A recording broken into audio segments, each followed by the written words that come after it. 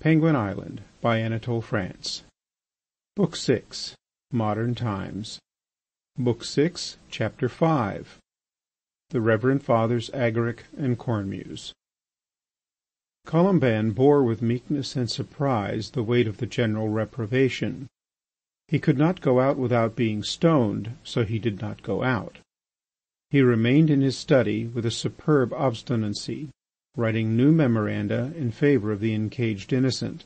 In the meantime, among the few readers that he found, some, about a dozen, were struck by his reasons and began to doubt Pyrot's guilt. They broached the subject to their friends and endeavoured to spread the light that had arisen in their minds. One of them was a friend of Robin Mielleux and confided to him his perplexities, with the result that he was no longer received by that minister. Another demanded explanations in an open letter to the Minister of War. A third published a terrible pamphlet. The latter, whose name was Kerdanic, was a formidable controversialist. The public was unmoved. It was said that these defenders of the traitor had been bribed by the rich Jews. They were stigmatized by the name of Pyrotists, and the patriots swore to exterminate them. There were only a thousand or twelve hundred Pyrotists in the whole vast republic, but it was believed that they were everywhere. People were afraid of finding them in the promenades, at meetings, at receptions, in fashionable drawing rooms, at the dinner table, even in the conjugal couch. One half of the population was suspected by the other half. The discord set all Alca on fire. In the meantime, Father Agaric, who managed his big school for young nobles, followed events with anxious attention. The misfortunes of the Penguin Church had not disheartened him. He remained faithful to Prince Crucho and preserved the hope of restoring the heir of the Draconides to the Penguin throne.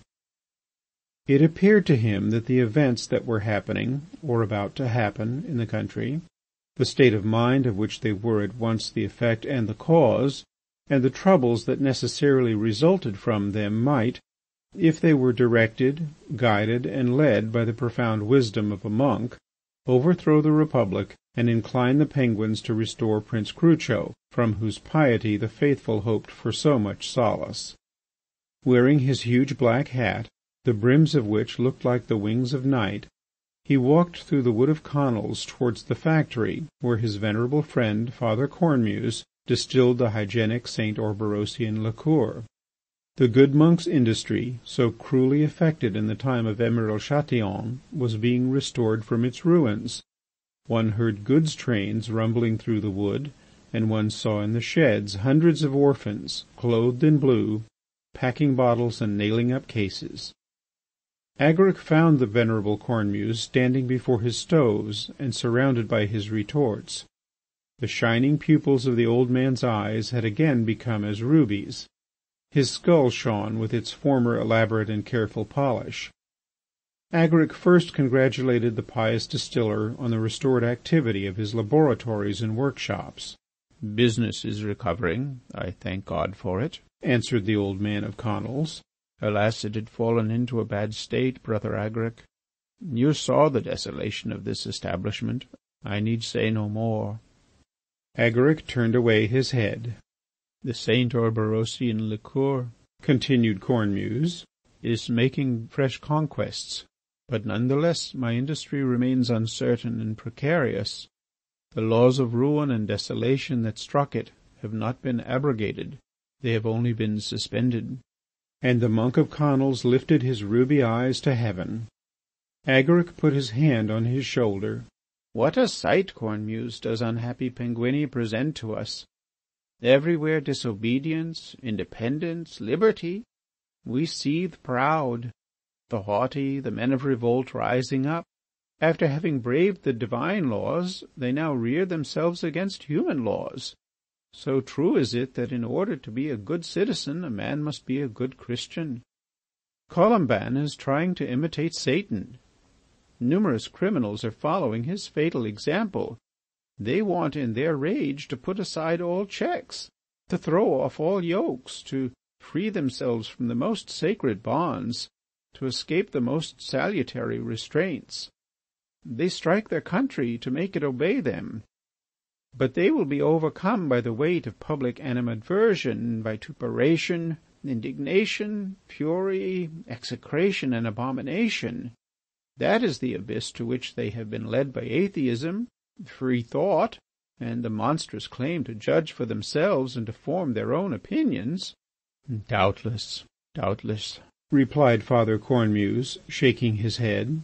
But I confess that the care of distilling these simples has prevented me from following public affairs. I only know that people are talking a great deal about a man called Pyrot.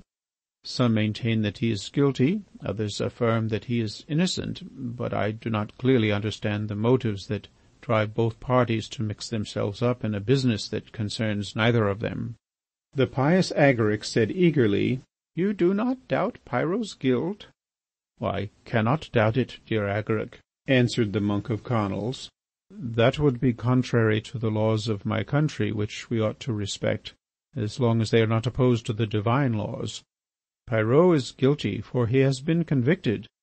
As to saying more for or against his guilt, that would be to erect my own authority against that of the judges, a thing which I will take good care not to do. Besides, it is useless, for Pyrot has been convicted. If he has not been convicted because he is guilty, he is guilty because he has been convicted. It comes to the same thing. I believe in his guilt, as every good citizen ought to believe in it, and I will believe in it as long as the established jurisdiction will order me to believe in it, for it is not for a private person, but for a judge to proclaim the innocence of a convicted person.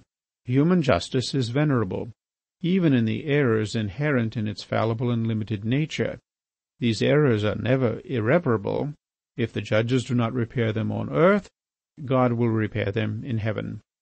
Besides, I have great confidence in General Greatauk, who, though he certainly does not look it, seems to me to be an abler man than all those who are attacking him.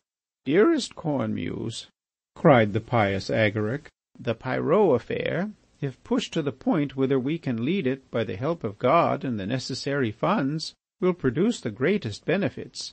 It will lay bare the vices of this anti-Christian republic and will incline the Penguins to restore the throne of the Draconides and the prerogatives of the Church.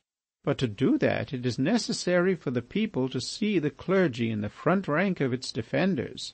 Let us march against the enemies of the army, against those who insult our heroes, and everybody will follow us.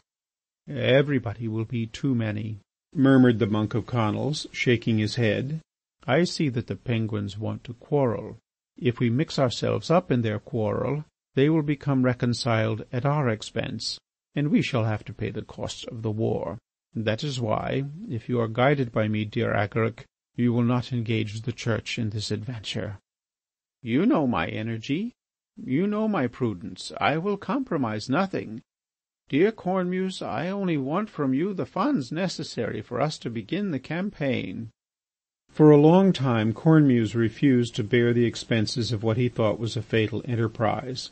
Agaric was in turn pathetic and terrible. At last, yielding to his prayers and threats, Cornemuse, with banging head and swinging arms, went to the austere cell that concealed his evangelical poverty.